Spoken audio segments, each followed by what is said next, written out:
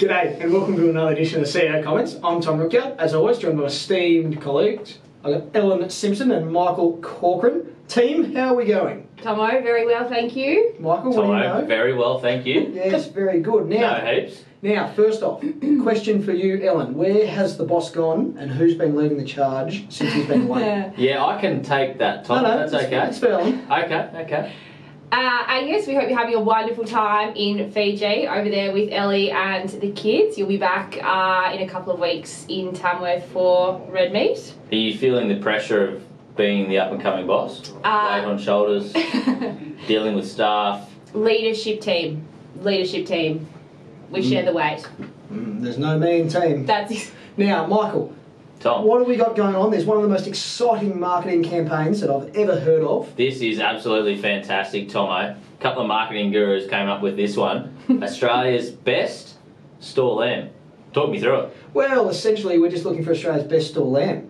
Uh, and the crux of it is where, you know, agents and vendors are sending in videos of themselves talking through, you know, I think your dad sent one through about talking about God's country, as he calls it, Yes. up, at, up at Glen Innes. That's right, that's right. Are we looking for the best singular store lamb or mob of store lambs? Oh, mob off. Mob, Mob off. Uh, yeah. Run out the gate. Yeah, well, mm, Uh, yeah, we don't really like Ellen run out had the a gate few swing. issues with run out the Yeah. gate mobs, but Now- uh, That's enough of that.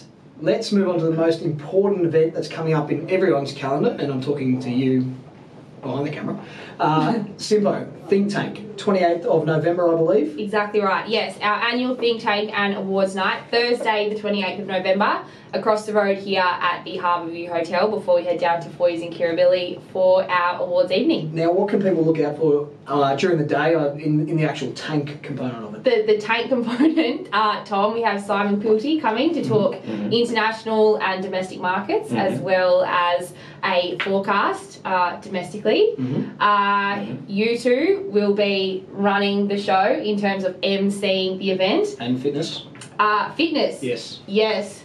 How's that going? Well, well, it's not well for me, but for everyone else, it'll, it'll be fine. It'll be fine. Yep. and the evening, awards night, what are the, some of the awards that people can look out for? Absolutely. So we've got our highest throughput uh, assessors for sheep and cattle combined.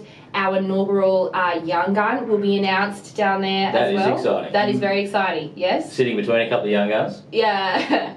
yes. Not so young, you're 30. Yay! That's exactly, Tomo. Thank you that I wanted to mention. Happy birthday, Coco. Thank you, thank you, Ellen. Yes. How, how does it feel to be 30?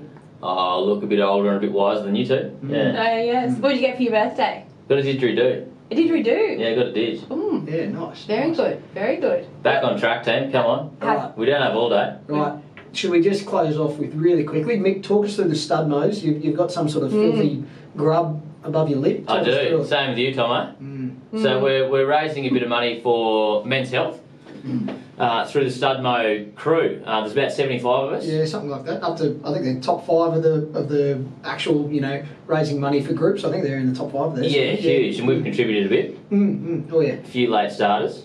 Yeah, look, I think there'll be a fair bit of money coming through through at the end of the campaign, if you'll call it. Yes, yeah, yeah. A couple of heavy hitters coming in at the back end. Yes. We've got all of November, don't we? We're only a third of the We way do. through. I think about just shy of twenty thousand dollars has been raised so far. So we will pop the link uh, down below, or we'll get In that the email. in the email. Please Uh, donate. yes, please donate generously and support a very good cause. You've got a fifty thousand dollar goal, so Anything else from either of you two team? that's all from me. Righto.